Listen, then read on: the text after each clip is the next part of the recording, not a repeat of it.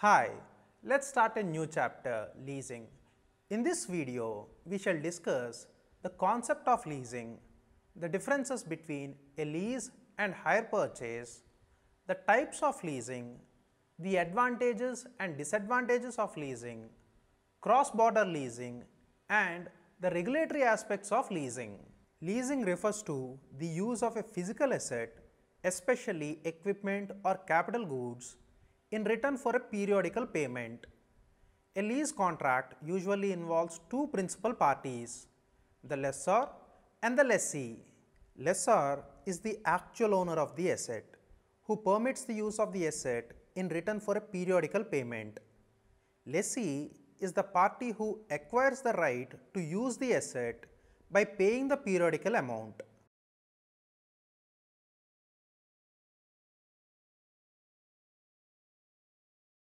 A lease and a hire purchase transaction are almost similar to each other. However, there is a small difference between these two with respect to the legal structure.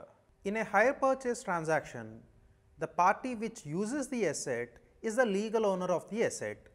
Therefore, the user of the asset will claim the depreciation. However, the full title is passed only after all the agreed installments are paid. Now coming to the lease transaction, the user of the asset who is known as the lessee is not the legal owner of the asset and therefore cannot show the asset in his balance sheet. Such leased assets are known as off balance sheet assets for the lessee and therefore he cannot claim depreciation. Whereas the lessor who is the legal owner of the asset can claim the depreciation. So those are the basic differences between a hire purchase transaction and a lease transaction. But please note one point, there are different types of leases. So the legal structure of each type of lease could be different. Remember that. Now let's take a look at the different types of leases.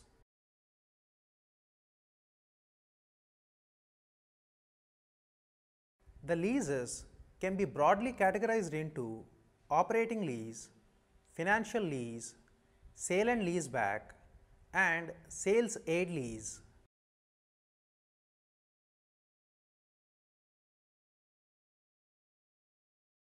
You must have learnt about the operating lease and the finance lease in the accounting standards. Anyway, an operating lease is what is considered as the true form of lease. Whenever someone mentions a lease, by default we immediately think about the operating lease, whereas a finance lease is actually a lending transaction, which is disguised as a lease for legal or tax purposes. In a finance lease, the lessor is the legal owner of the asset. But from the perspective of economic interest, it is the lessee who is considered as the owner. Now let's take a quick look at the differences between an operating lease and a finance lease. An operating lease is usually for a short period of time, whereas a finance lease is for a longer period of time and it usually lasts almost the entire economic life of the asset. In an operating lease, the lessor will not be able to recover the full cost of the asset during the lease period. Whereas in a finance lease, the lessor should be able to recover the full cost of the asset after adjusting the scrap value, other incidental charges and the financing cost.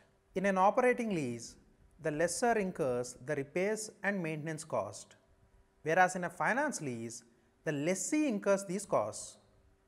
In an operating lease, the depreciation on the asset is claimed by the lessor, whereas in case of a finance lease, it is usually claimed by the lessee. In an operating lease, the asset is transferred back to the lessor after the end of the lease term. Whereas in case of a finance lease, the lessee is usually given the option to purchase the asset at a nominal cost at the end of the lease term. In an operating lease, the lessor bears the incidental risk of the asset, whereas in a finance lease, the lessee bears that risk.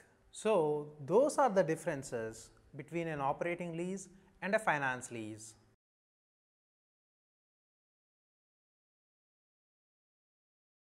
A leverage lease is not a separate type of lease.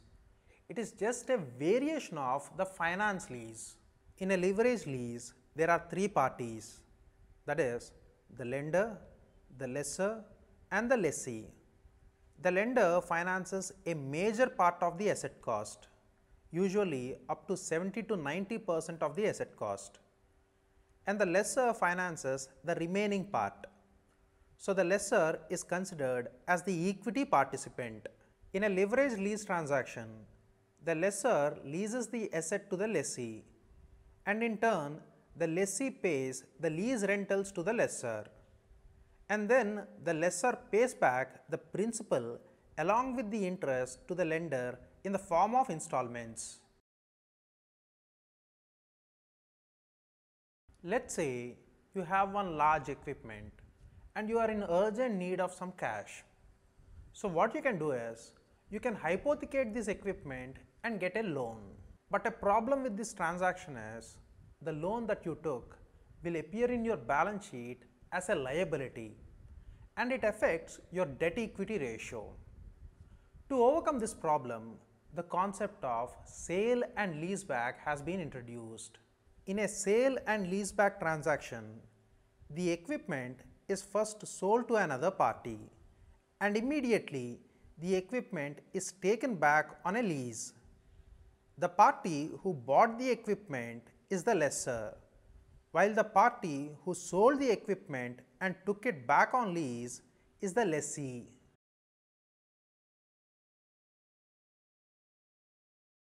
What is the relationship between cab drivers and Uber? If you have a car and if you know how to drive a car, then you can register with Uber and start working for them. This way you can earn some money. But what if you don't have a car? Don't worry, Uber will take care of it. But how? If you don't have a car, Uber will give you a car on lease and all you have to do is pay the lease rental every month. That's it. Now let's look at this transaction from a car manufacturer's perspective. For example, from Maruti Suzuki's perspective. Suzuki would like to enter into an agreement with Uber so that Uber will buy the cars from Suzuki and lease them out to the cab drivers. This agreement is beneficial to Suzuki because its car sales will increase without incurring any additional marketing cost or paying dealers commission. And of course, as Suzuki gets all these benefits, it will offer the cars to Uber at lower than the market price. So, it's a win-win situation for everyone involved. This type of a lease transaction is known as sales aid lease, where the lessor and the seller or the manufacturer have a predefined agreement.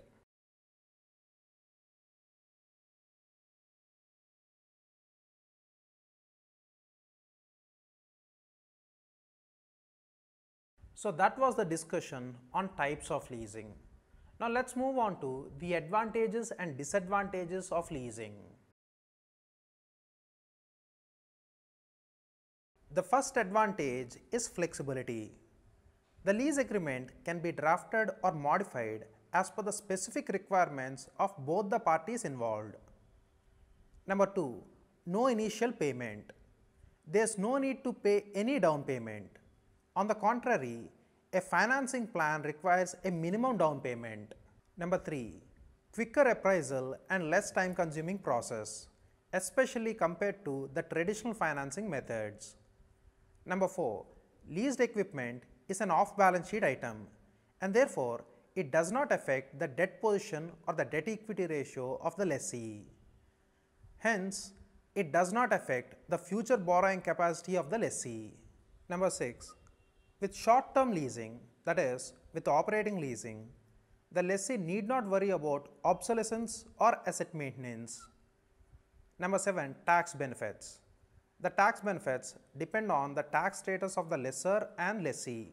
And lastly, banks or financial institutions may not accept small equipment as collateral to provide the finance or loans. In such cases, leasing could be the only option. The first disadvantage of leasing is The lease rentals should be paid right from the beginning. The moratorium period is usually not available for leasing. Therefore, leasing is not suitable for projects with long gestation periods. Certain equipment manufacturers and sellers provide warranty only to the owner of the asset, that is, to the lessor. The warranty may not be applicable if the asset is used by the others, including the lessee. The third disadvantage is the asset could be seized by the lender if the lessor doesn't repay the loan on equipment. So ultimately, the lessee will suffer due to the lessor's default. And finally, the implied financing cost of leasing is usually higher than the interest cost of a regular term loan. Even after considering all these demerits, leasing is still very popular, mainly because of the flexibility it offers to the parties involved.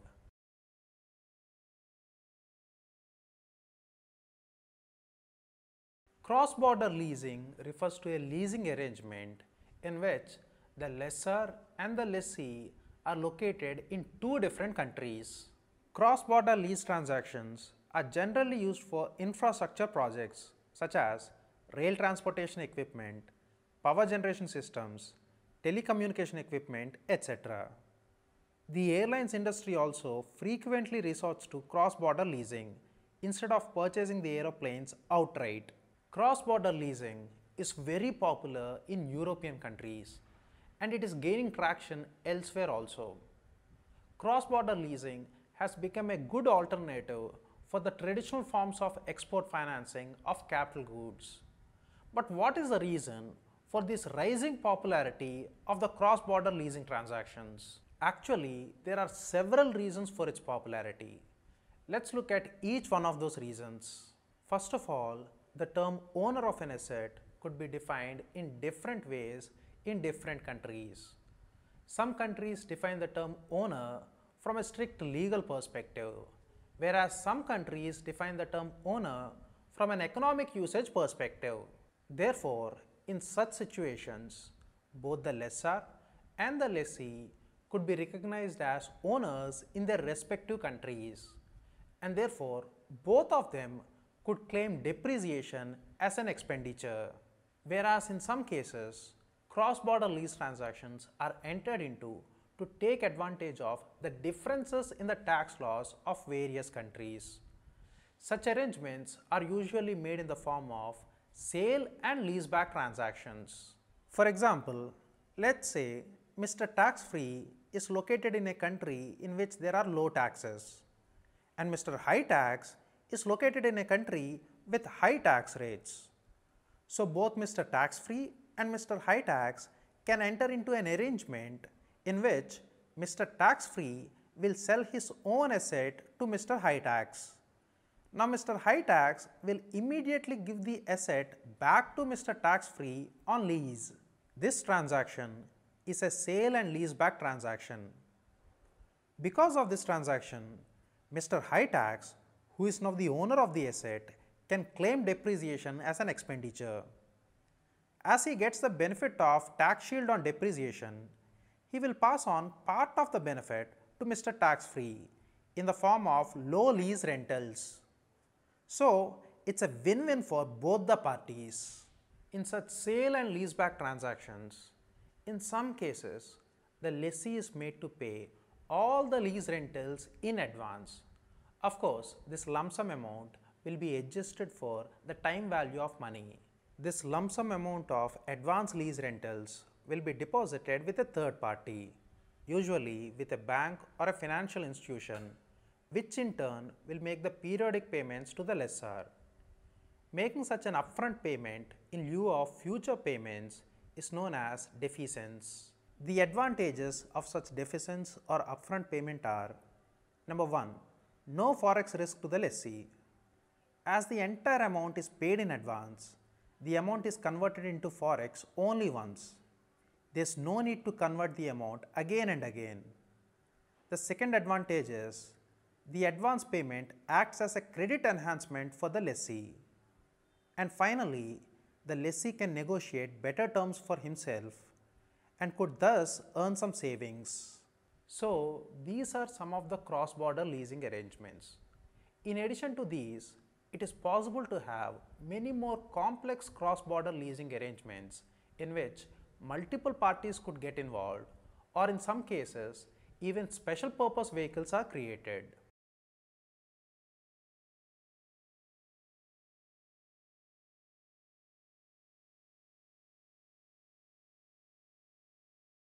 So that was all about the topic cross-border leasing.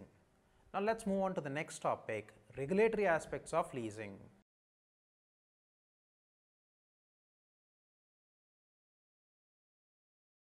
A leasing company is a non-banking finance company.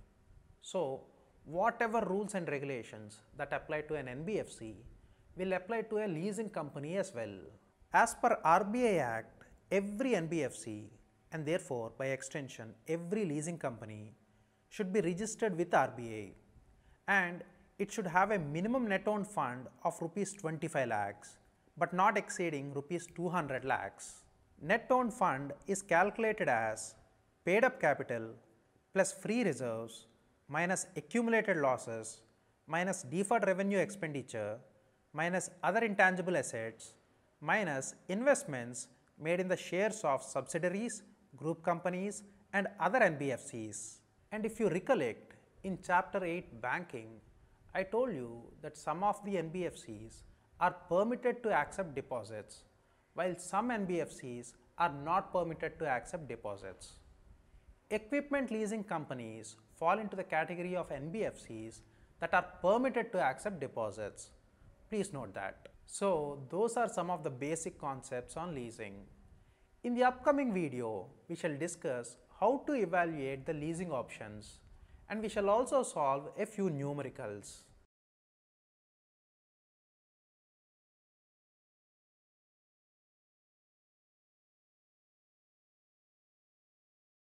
Leasing refers to the use of a physical asset, especially equipment or capital goods, in return for a periodical payment. A lease contract usually involves two principal parties, the lessor and the lessee.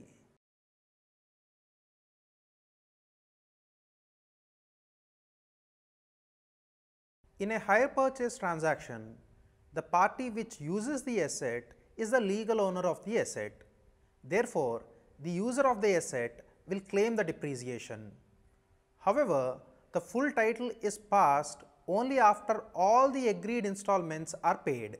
Now coming to the lease transaction, the user of the asset who is known as the lessee is not the legal owner of the asset and therefore cannot show the asset in his balance sheet. Such leased assets are known as off balance sheet assets for the lessee and therefore he cannot claim depreciation. Whereas the lessor who is the legal owner of the asset can claim the depreciation.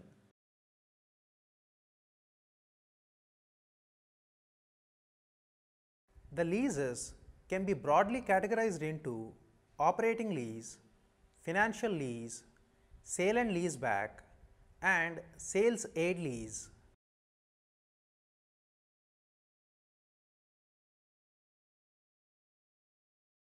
An operating lease is a true form of leasing, whereas a finance lease is actually a lending arrangement which is disguised as a lease. So normally an operating lease usually lasts for a relatively shorter period of time, whereas a finance lease usually lasts for almost the entire economic life of the asset. In an operating lease, the lessor incurs the maintenance and repair cost and he is allowed to claim depreciation as an expenditure. Whereas in a finance lease, the lessor does not incur any maintenance cost or repair cost and he is not allowed to claim depreciation as his expenditure.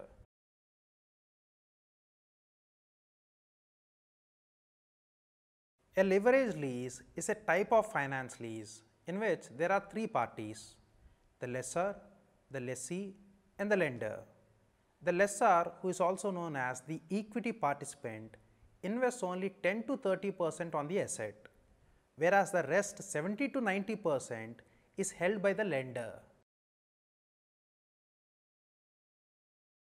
In a sale and leaseback transaction, the equipment is first sold to another party and immediately the equipment is taken back on a lease.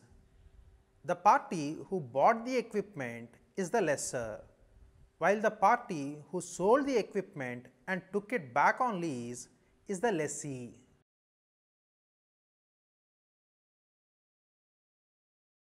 In a sales aid lease, the lessor and the equipment manufacturer or seller have a predefined agreement. The lessor will help the seller in marketing the product and in return the lessor will get the asset at lower price. The first advantage is flexibility. The lease agreement can be drafted or modified as per the specific requirements of both the parties involved. Number 2. No initial payment. There is no need to pay any down payment. On the contrary, a financing plan requires a minimum down payment. Number 3. Quicker appraisal and less time consuming process, especially compared to the traditional financing methods. Number 4. Leased equipment is an off balance sheet item and therefore it does not affect the debt position or the debt equity ratio of the lessee. Hence, it does not affect the future borrowing capacity of the lessee. Number 6. With short term leasing, that is, with operating leasing, the lessee need not worry about obsolescence or asset maintenance. Number 7. Tax benefits. The tax benefits depend on the tax status of the lessor and lessee. And lastly, banks or financial institutions may not accept small equipment as collateral to provide the finance or loans. In such cases, leasing could be the only option. The first disadvantage of leasing is the lease rentals should be paid right from the beginning. The moratorium period is usually not available for leasing. Therefore, leasing is not suitable for projects with long gestation periods. Certain equipment manufacturers and sellers provide warranty only to the owner of the asset, that is, to the lessor. The warranty may not be applicable if the asset is used by the others, including the lessee. The third disadvantage is the asset could be seized by the lender if the lessor doesn't repay the loan on equipment. So ultimately, the lessee will suffer due to the lessor's default. And finally, the implied financing cost of leasing is usually higher than the interest cost of a regular term loan.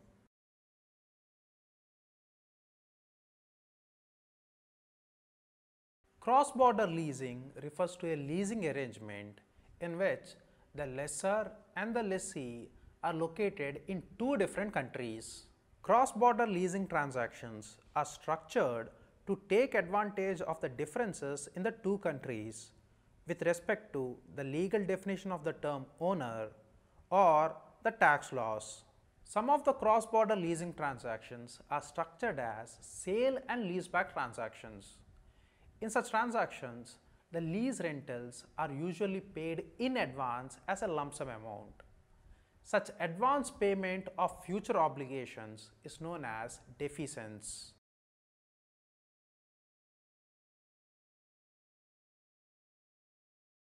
A leasing company is a non-banking finance company. So, whatever rules and regulations that apply to an NBFC will apply to a leasing company as well. As per RBI Act, every NBFC and therefore by extension every leasing company should be registered with RBI and it should have a minimum net owned fund of rupees 25 lakhs but not exceeding rupees 200 lakhs. An equipment leasing company falls within the category of NBFCs which are permitted to accept the deposits.